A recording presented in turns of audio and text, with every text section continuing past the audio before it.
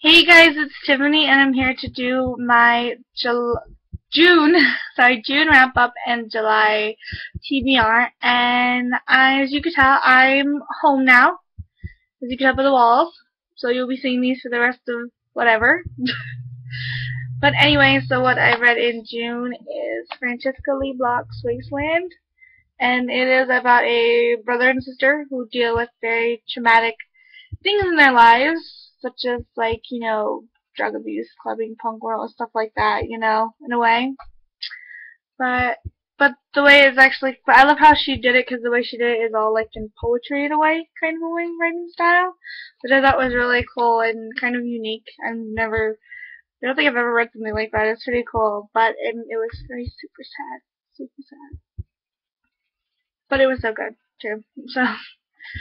Okay, so, and what I'll be reading in July is, very excited, um, City of Glass by Cassandra Clare. The third book in the Mortal Instruments series.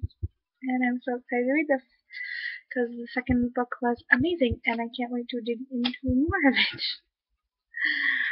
But that was about it.